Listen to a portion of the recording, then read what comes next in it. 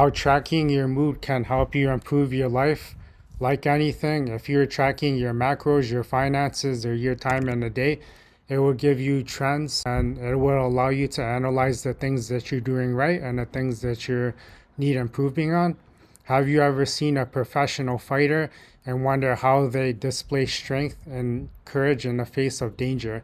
Imagine being able to step into somebody's shoes and truly understand their perspectives.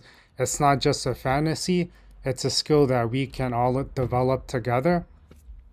Get ready to explore the transformative power of empathy and tracking your mood.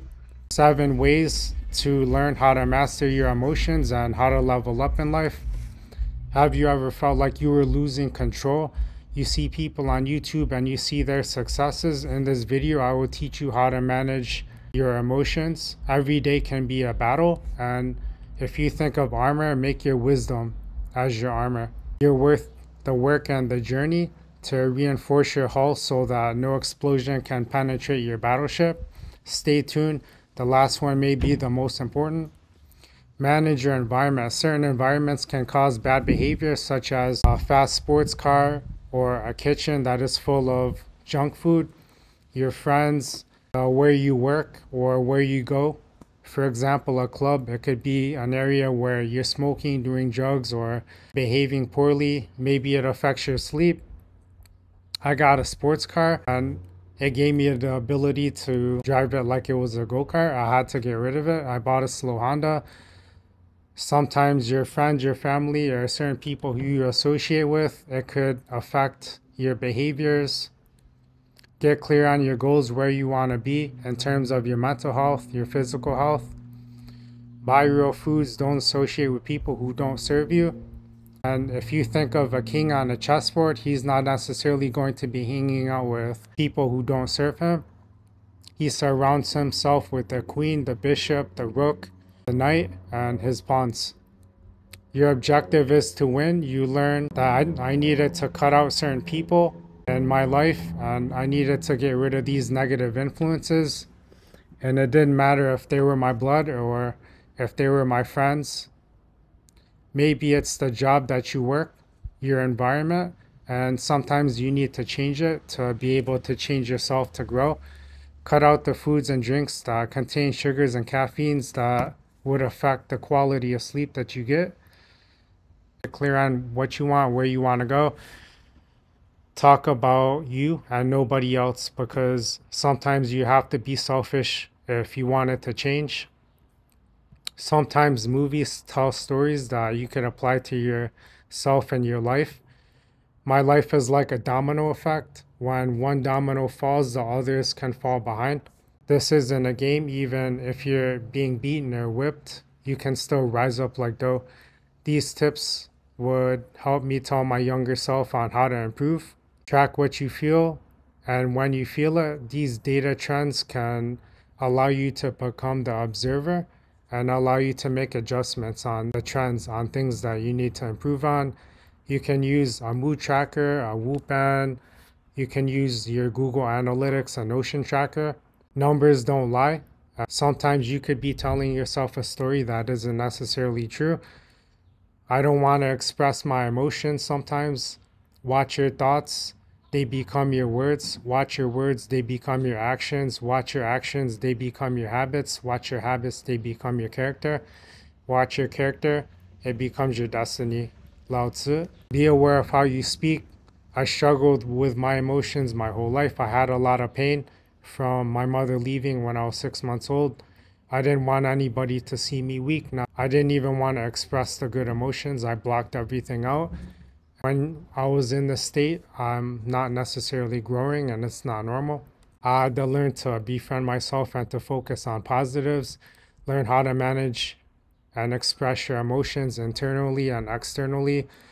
You can work out to get those endorphins in, to tire your mind, spend time with your friends, do your hobbies, things that make you happy, work at goals on things that you wanted to improve in your life, and you can challenge yourself to give yourself drive, spark, and fire to accomplish the things that you want.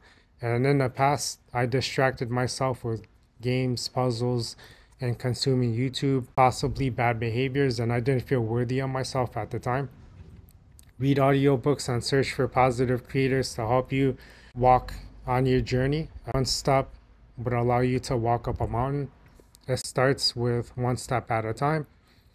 I love driving because it was a form of escape, except that you are an emotional being. I got into a lot of trouble being emotional. Have you ever gotten a speeding ticket or unsafe lane change and lost your cool? It's something that you could be embarrassed about, but use it as a learning point, something where you could learn and change. Journal this videos a form of a shared journal. Record yourself speaking, talking to your friends or family. In society, uh, Asian culture, they don't teach you to be in tune with your emotions. Use other movies and see how those characters act and how they overcome their struggles, such as The Flash or Web Society. Brandon Carter talks a lot about his past, about how his father deleted, and Iman Gadzhi talks about his mother and how his father wasn't in the picture you think these people are perfect, but they're not, and they mess up a lot. These mistakes get edited out, and you can edit out your mistakes as well. I use this shadow work journal. It taught me to have compassion and understanding for my past and myself. It taught me how to to love myself and to love other people and also to have understanding for my past and my parents. It allowed me to allow myself to make mistakes because that's how we grow. And it makes it describes the whole picture instead of me only telling you about the positive aspects. If you're a Marvel fan, you would know that the Incredible Hulk is physically strong, but he lacked mental strength, and he learned later on of how to build himself. I felt like I couldn't speak. I had to get this dark energy out. I had to drain my battery in the gym. I challenge you to improve. Listen to this as many times as you need and create your own video track your own progress, help out your friends, your brothers and sisters around you. Like, share, and subscribe if you want more content like this, and I'll see you on the other side. Peace. These are side notes that I had from my coach. Sometimes you're looking for other people when you're really looking for yourself. Some people measure success in terms of dollars, and some people measure it in terms of helping people or happiness.